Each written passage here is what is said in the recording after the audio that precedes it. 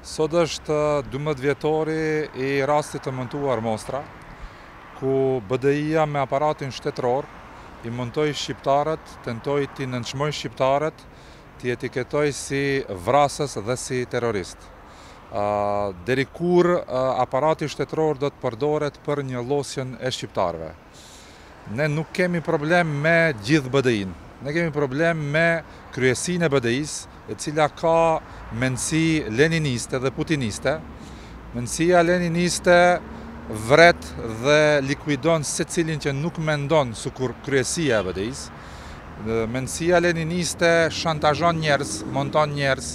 Mendësia leniniste shpërngul popullatën e cila është kritike ose mendon ndryshe dhe nuk mendon si ata, mendësia leniniste man peng njerëzit me lëndët e tyre, me punët e tyre, me hallet e tyre. Nuk ka ndodhë asnjë pushtet dhe asnjë okupator t'i shpërngulë shqiptarët sukur që janë shpërngulë në këto njëzet vitet e fundit. Problemi është mbrenda edhe në BDI, ne nuk mund t'i fajësojmë të gjithë ata se mbrenda kanë edhe njerëz vajza të të zot dhe djem të zot të cilët nuk mund të vijnë në shprehje, shkaku se ke në kandidaturat e kandidaturat për për deputetë në listat e tyre keni njerëz të cilët janë në listën e zezë amerikane. Nuk kalon ky blef dhe nuk kalon ky marketing se Gjoja jemi ne fronti evropian dhe me lista të zeza. Kjo nuk kalon te populli.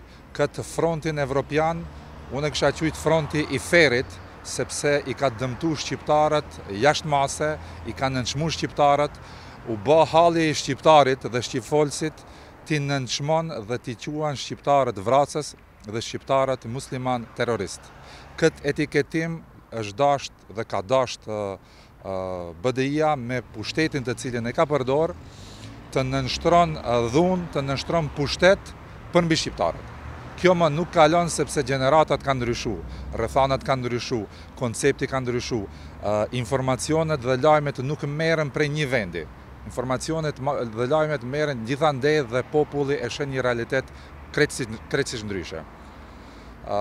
Mendësia ruse, mendësia putiniste, shantazhon njerëz, mendësia ruse putiniste bën përçarje mbrenda familjeve, në një vend të punës aplikojnë dy kusheri ose dy motra, vetëm dhe vetëm të jetë divide et impera, ndaj dhe sundo.